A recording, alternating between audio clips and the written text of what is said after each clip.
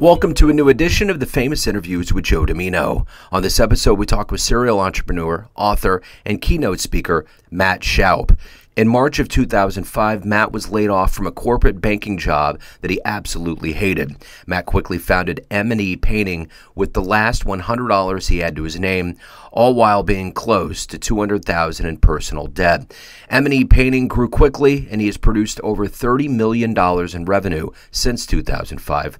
Matt and M&E Painting have received dozens of local, state, national, and even international business awards. We get into all of this and so much more. Enjoy this interview. Well, hey, Matt, it's great to uh, meet you. Thank you for taking a minute out today. I appreciate it. Oh, happy to be here. Thanks for having me. You bet. So, before we get into your life as an entrepreneur, author, and speaker, you're a busy guy. I want to know the last three years with COVID worked on all of us in different ways, and I'm curious how you survived that time period and how it changed the way that you live and conduct business now. Wow, you know that's a that's a great question. I haven't I haven't been asked that recently. Uh, you know, it was it was interesting. It was a challenging time for everybody, and I think what it did for me is that you know I had to make a really quick decision uh, at the very beginning of COVID. Is that you know I was either going to fall victim to it or be victorious over it.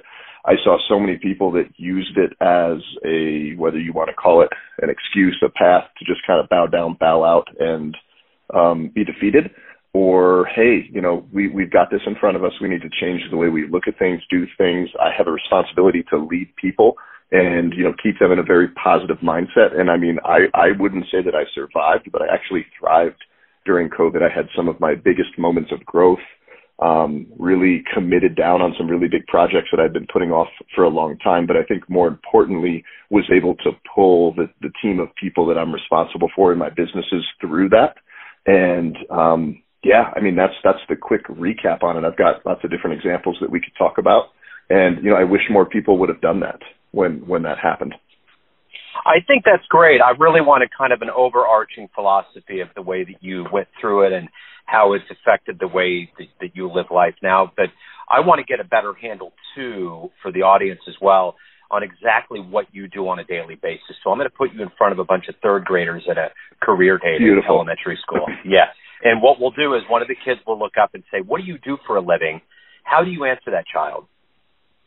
So I'm a, I'm a serial entrepreneur. So the way I really break it down to a to a basic level is I I get to hang out with really fun people that I enjoy every day. I, I drink coffee all day, hang out with people, and my businesses find different ways to make their life better. So I, I have a company that does residential painting and roofing. We have a Brazilian Jiu Jitsu academy. I also write business books and do speaking and uh, take entrepreneurs on uh, leadership retreats. So, you know, the big the big commonality is um, I get to use my my stories and my experiences to share stories with other people and give them resources to make their life better. What did you want to be when you were in the third grade? You know, I wanted to be a baseball player. That was like that was my childhood dream. Um, never really, never really thought about the business thing. You know, I got bullied a lot growing up, so I was, I was pretty scared of the world. I didn't have a lot of tools and resources on how to deal with, uh, you know, the bullying and the stuff that I went through. And business came up for me uh, when I was ten, between fourth, no, fifth and sixth grade. I moved out to Colorado and uh, asked my parents for some money for a boombox, and they wouldn't give me any money. They said, "Figure a way to go make it yourself." kind of thinking that I'd stop talking about it, right? And I, I took the lawnmower out of the garage and went up and down the street and mowed lawns. So, you know, business for me really gave me a sense of identity, of purpose, of being able to set a goal and accomplish a goal. It gave me certainty, uh, gave me confidence that that I really was lacking and couldn't find and didn't find anywhere else.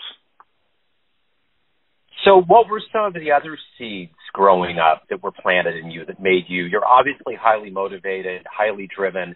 What were some other things as far as family and friends and anything else that was influential on you getting to where you are today?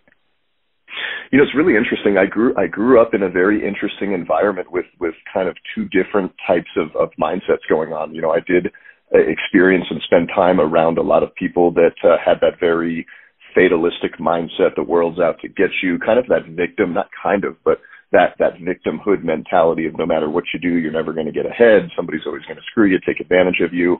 Uh, but then, you know, I turned right around and jumped into the world of, of, you know, mowing lawns and shoveling snow. And I said, you know, this, this doesn't make sense because I just decided I wanted something and I went and attained it. And, you know, that's not how the world is. So, you know, those different influences from those different, you know, friend groups and just people groups and social groups was uh, was influential. I'd say one of the big ones for me, and this kind of influenced me in a few ways, is uh, my freshman year of college. I attended Colorado State University, and I got approached by a college painting company recruiter. And he, you know, came into a class and said, "Hey, you know, what are you going to do this spring and summer for work? Are you going to deliver pizzas, wait tables, work at a shoe store? Right? That's what I was doing.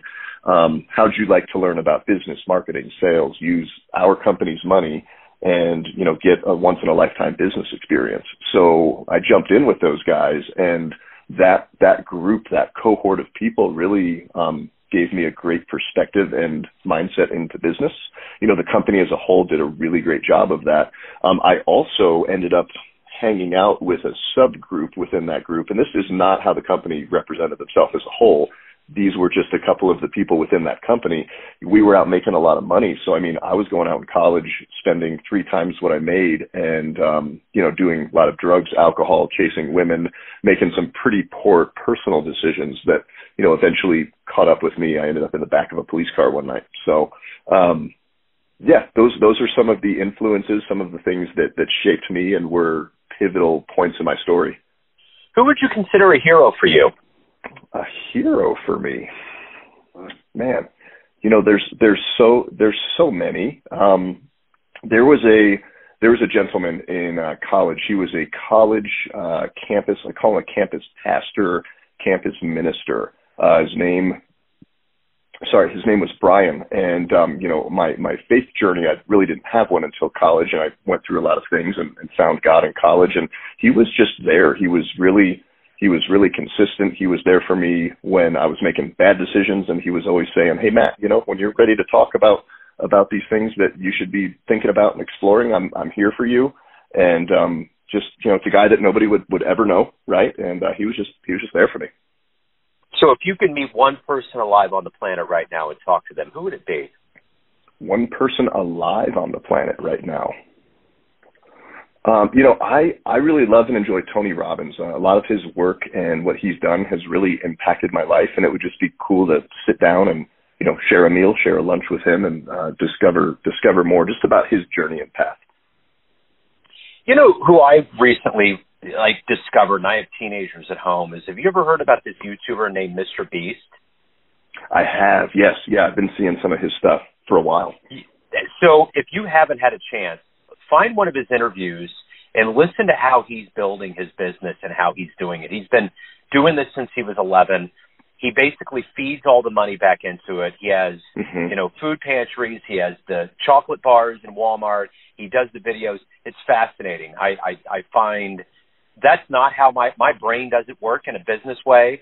So people like you and Mr. Beast and others operate in a different way. I'm more right brain. So it, it's fascinating to see how all of that feeds into itself. You know. I love it. I love it. Yeah, I, I've seen his stuff come up, and he's been. I mean, he's uh, what did he just turn down? Was it like a billion dollars somebody wanted to buy his company for? I think yeah. that's what I read.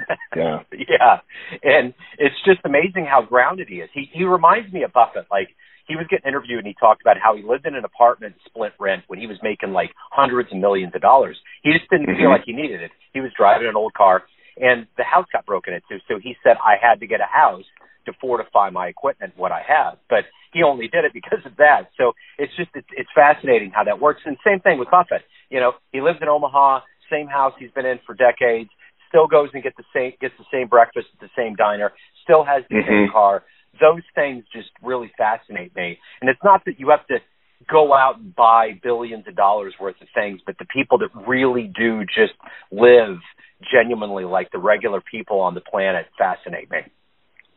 Well, and it's really cool to see people that have been successful in business financially where they really see the value of, of contribution, you know, and then people poured into them, invested in them, and then they're turning around and doing that for and, and to other people. And I, and I think that's the that's that's really the coolest part of business for me. Yeah, and that's what is so fascinating about Mr. Beast. He's really doing good things for people. Um, so I'm curious. Every day you wake up, the alarm clock goes off. You look at what you have to do. You accomplish these things throughout your day. What is it that motivates and drives you through your days?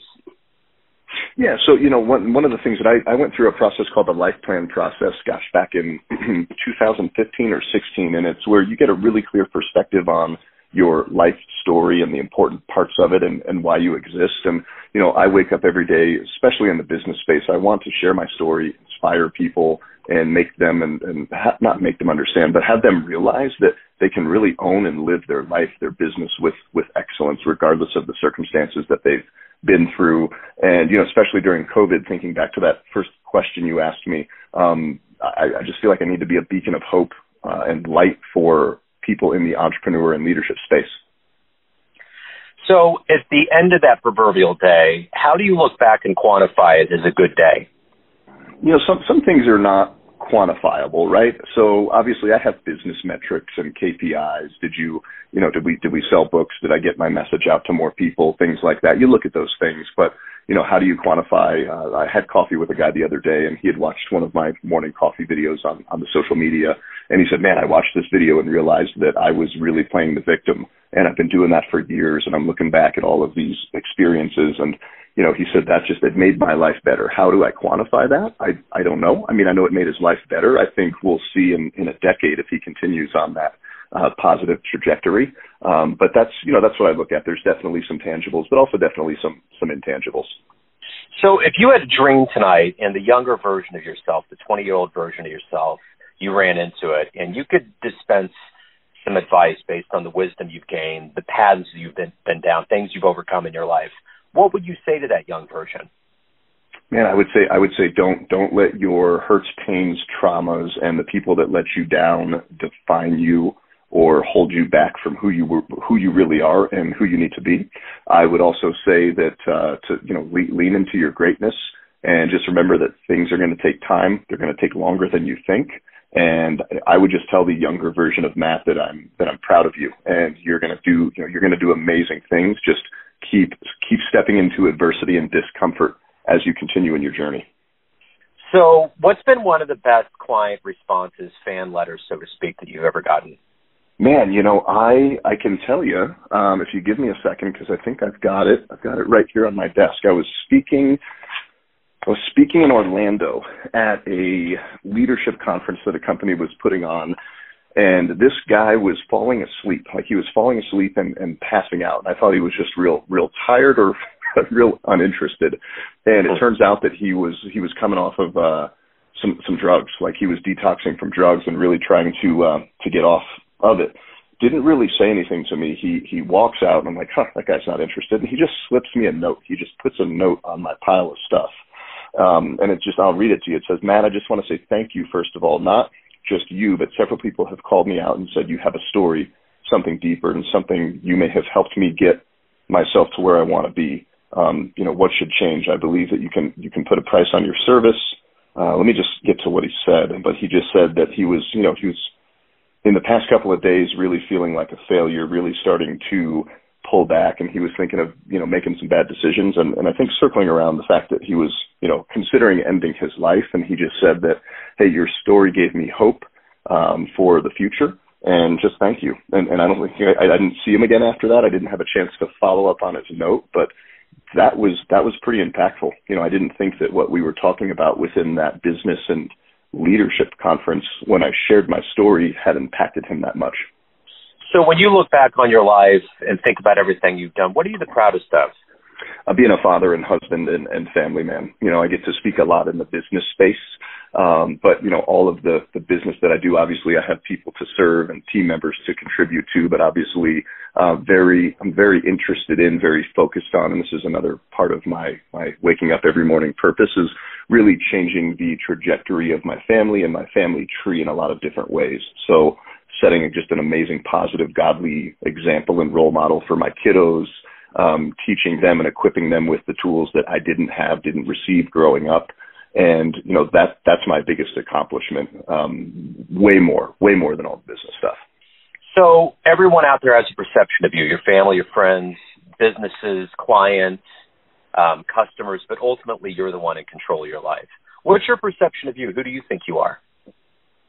You know, I, I'm a strong I'm a strong leader. I stand for fight, faith, family, action, accountability, giving, gratitude, love, service, kindness, and excellence. So I'm very very clear on those values and what they mean to me and how I can go out and display those. And then I'll end that with great sounds good on paper, right? But I get it wrong every day. You know, like I'll I'll screw it up royally uh, in one of those categories literally every day. And just just being accountable to that and understanding that I'm human and I can give myself some some grace and space and forgiveness for that. Um, that's that's who I am. So Matt, if anyone out there wants to learn more about you, hire you, anything related to your world, where do they go? Everything is on my website at mattshoup.com. Beautiful, Matt. I'm glad we got this in, and it, it was wonderful to get to know you. Thank you, and keep doing the good work, man. I really appreciate your time. Yeah, thanks for reaching out and doing this, and uh, we'll we'll stay in touch. Talk to you soon. Thanks for tuning in to another famous interview with Joe Dimino, where we cover the world of art, literature, business, spirituality, music, and more from around the globe. If you want to hear more interviews, visit the Famous Interviews with Joe Dimino channel on YouTube. You can also find us on Spotify and Apple Podcasts. Thanks again for listening, and until next time.